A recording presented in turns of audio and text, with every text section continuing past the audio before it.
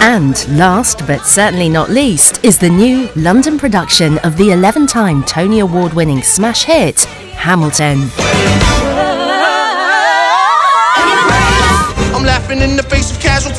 Lin Manuel Miranda's masterpiece blends hip hop, jazz, blues, rap, R&B and Broadway to tell the story of America's founding father, an immigrant from the West Indies who became George Washington's right hand man.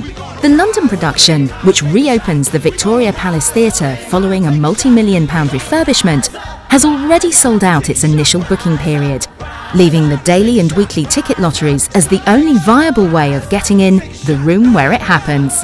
You never know, you might get lucky. Do not throw away your shot.